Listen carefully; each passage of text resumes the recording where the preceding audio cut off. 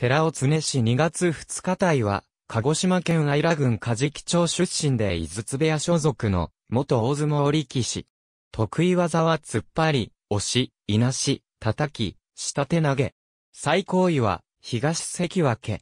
本名は、福、その吉文。身長185センチメートル、体重116キログラム。引退後は、年寄り、錣山となり、井筒部屋部屋付き親方を経て、文家独立し、錣山部屋の師匠として、指導にあたる。各界での愛称は、土俵の鉄人、阿ビ、血液型は、A 型、趣味はパチンコ、音楽鑑賞、ゴルフ。寺尾の手形生まれ育ったのは、父、鶴ヶ峰が居宅及び部屋を構えた墨田区であるが、大相撲入り後は、父の出身地である、鹿児島県を自身の出身地として届け出た。父、鶴ヶ峰は厳格な人間であり、その影響で小さい頃から父に対しては敬語を使っていたという。実際、父は年寄り、13代井筒としても、何かあったら、まず自分の息子から叱るとしていた。墨田区立二葉小学校、墨田区立両国中学校を卒業。兄二人とは異なり、小中学校時代は相撲に興味がなかったが、安田学園高校入学後、上級生の島津真司に誘われ相撲部に入る。安田学園では控え選手に過ぎなかったが、厳しい稽古を乗り越えて、試合で勝つことの爽快感から相撲にのめり込むようになり2年生の時には1日も早く閣下入りしたいと思うようになっていた。長兄が時系の入門の際に強行に反対したことから、閣下入りしたいという気持ちをなかなか言い出せないでいた。しかし、1979年5月場所の千秋楽の日、癌で闘病中であった最愛の母を見舞った後、長兄に突然、お前、学校辞めて、相撲取りになったらどうだ？と声をかけられた。その後、母の通夜の晩に父に入門の意思を伝え、そのまま高校を中退した。父が師匠を務める、井筒部屋へ、兄たちに続き入門し、1979年7月場所初土俵。母の旧姓である寺尾を指名とした。入門当初は三段目昇進を目標にするほど、自身を期待薄と見ていた。1984年7月場所新十両の時、源氏山緑三郎と改名する。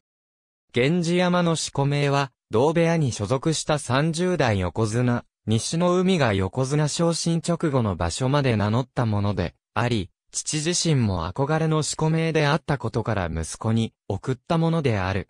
この四股名は一場所限りで、翌場所から元の四股名に戻している。1985年1月場所で12勝3敗の成績で重量優勝し、翌場所新入幕。入幕時のインタビューで、名脇役になれればいい。主役にはなれないと思うのでと答えていた。6勝9敗と負け越して陥落するが、翌場所も12勝3敗の成績で2度目の重量優勝で、1場所で返り咲く。1987年11月からなお、常氏と改める。初土俵の時に 85kg しかなかった体重を 100kg まで増やすために、大変な努力をしたという。横になると、口から食べたものが出るほど食べ、夜も食べ物が、胃から腸に降りるまで壁に寄りかかり、横になれるのは、明け方から数時間程度という生活を、約5年続け、100kg の大台に乗ったのは1984年9月場所のことである。長兄の鶴霊さんは重量止まりだったが、時系の坂鉾は関脇まで昇進していて、様々な兄弟記録を残している。1986年9月場所には、同時三賞受賞。1989年3月場所には、同時関脇を果たした。また1990年11月場所には、塩の富士の横綱土俵入りの立ち持ち梅雨払いを務めた。大野国から1988年1月場所、1989年7月場所、1991年1月場所と3個の金星を獲得。1989年1月場所、千代の富士から唯一の金星を獲得。1991年11月場所、北東海に勝ち5個目の金星を獲得するなど活躍。1989年1月場所愛知横綱に大関に勝ち主勲章。7月場所も1横綱に大関に勝ち技能賞。9月場所は北東海に勝ち関東賞。1994年3月場所は2大関に勝ち関東賞。5月場所も2大関に勝ち主勲賞。1995年3月場所には横綱高野花から初の供給となる金星を獲得した。1997年3月場所には、極集山戦で右足親指を骨折し途中休場。初土俵以来続いた連続出場記録が1359で途切れた。1998年頃から怪我の影響もあるが、衰えが出始めたので、35歳から肉体改造を開始。徐々に効果が出始め1999年3月場所では、高野花や若野花ら横綱と対戦できる地位まで番付を再度上げる。そして1999年11月場所では、横綱、武蔵丸に勝ち、36歳で4年ぶり7個目の金星を獲得。30代後半を迎えた、寺尾の突っ張りはなお衰えを知らなかったが、力士の大型化が進んだこともあってか2000年7月には、ついに重量陥落。周囲からは引退の声も囁かれたが寺尾は、続行を決意。翌年3月場所、5場所ぶりに、幕内復帰した38歳で、年6場所制以降では、最年長再入幕となった。その場所で、輪島を抜く、当時歴代7位の幕内621勝を達成。再陥落後は昇進のチャンスもあったが、重量上位の星運に泣いた。2002年9月場所、重量11枚目の地位で、怪我により3日目から5日目まで途中休場。再出場の6日目に初白星を挙げ、最後の相撲となった千秋楽では、小木金に勝利を決めるも、5勝8敗2球と負け越し、幕下陥落が必至となり同9月場所限りで、現役引退。現役最末期の2002年頃には、後の追い弟子にあたる角竜を付け人に採用し、角竜はその中で、寺尾の突っ張りを見て学んで覚えたという。現役時代は、相撲界では珍しい甘いマスクと筋肉質の、ソップ体型で、女性ファンからの人気と声援が多かった。若い頃は回転の速い上突っ張りといなしで、勝負しており、その敏捷な動きから、海外公演で台風の通称がついたほどだった。また、右を刺すこともあり、下手投げは強かった。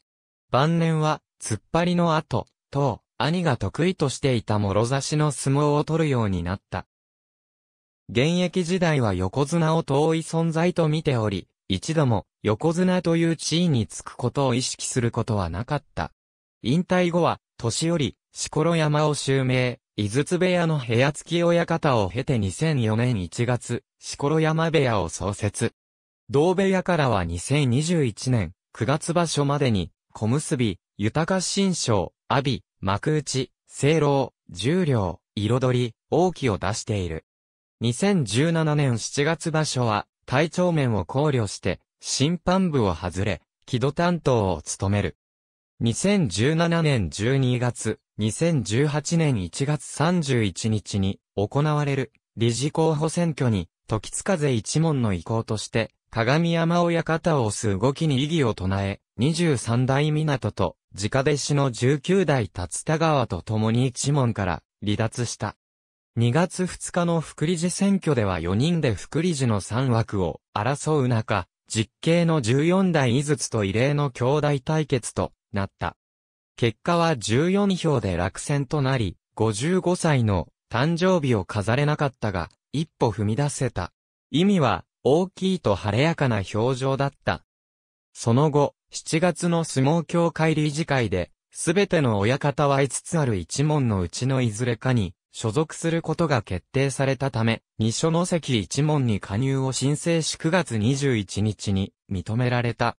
2020年8月6日、弟子の阿ビによる7月場所中の不適切行為で、指導監督責任を問われ、6ヶ月20%の報酬減額となった。一部報道からは騒動の時の対応について、なぜ弟子の引退を引き止めず処遇を教会に丸投げしたのかという批判の声が上がった。西の海の彦、加賀金の孫、鶴ヶ峰の三男、薩摩金のいとこの孫。井筒三兄弟と言われ、長男が、鶴霊さん、次男が、坂鉾、三男が寺尾。また、鶴の富士聡万は、中帝にあたり、元中日ドラゴンズ選手の井上和樹は最重帝に当たる。長男は、俳優の寺尾雄樹、名は、元宝塚歌劇団娘役の天崎千佳。加賀金は廃業後に、国技館サービス株式会社の常務取締役を務めた。